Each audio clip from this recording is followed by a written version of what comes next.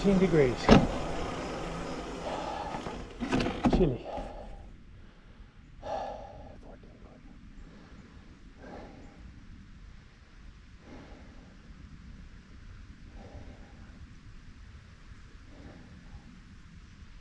About 54 Fahrenheit.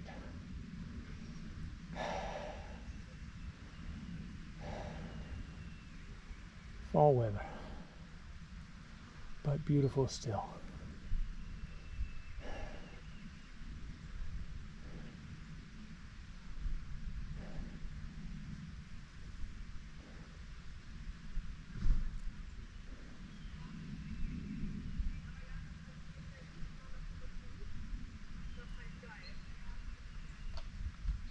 And more cyclists. In shorts, even.